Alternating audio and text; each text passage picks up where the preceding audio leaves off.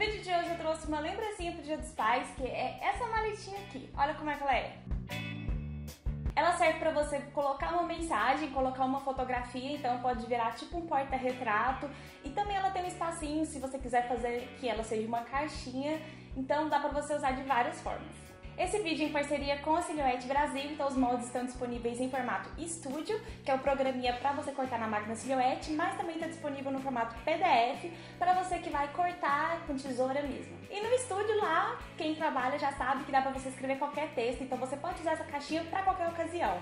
E no PDF eu fiz o texto em formato editável, onde você vai poder também apagar ali o que está escrito, escrever o que você quiser.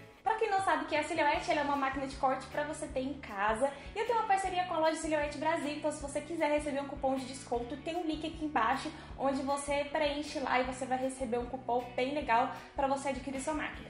Como os moldes são bem adaptáveis, o meu, por exemplo, já que meu marido ainda não é pai, a gente só tem gato, fiz um pai de gato mesmo que uma brincadeirinha. Vamos lá agora que eu vou mostrar pra vocês como é fácil montar essa lembrancinha.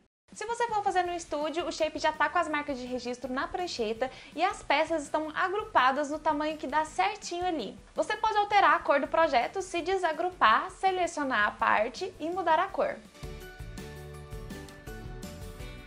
Quem for fazer com PDF é só abrir o arquivo num leitor de PDF ou no navegador Chrome e colocar ali o seu texto. Depois é só imprimir tudo. Eu usei papel fotográfico fosco da Mimo, que você também encontra na loja da Silhouette Brasil. Se for fazer na Silhouette, coloque na base de corte e mande cortar tudo.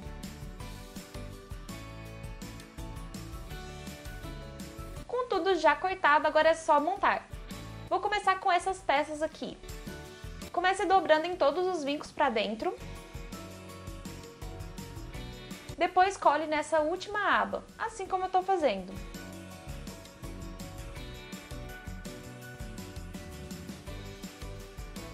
Faça isso nos quatro lados.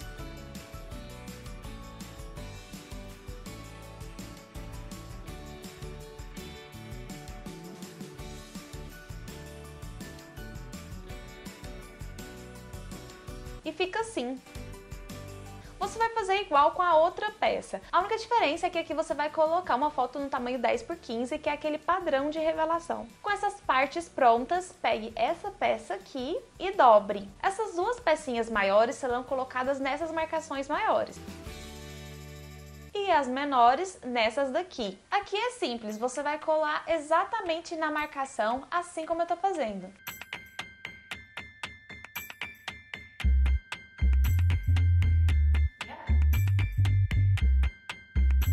Parte pronta, vire para dentro para colar as molduras.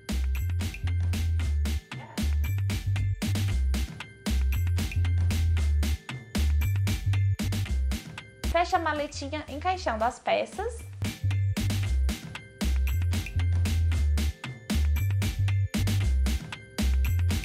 E finalize com a alça aqui em cima.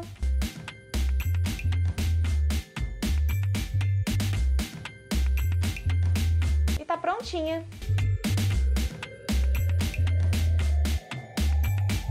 Então por hoje foi isso, pessoal. Espero que tenham gostado do vídeo. Se você é novo por aqui, deixa um joinha, se inscreve, ativa as notificações. Muito obrigada por ter assistido. Beijo.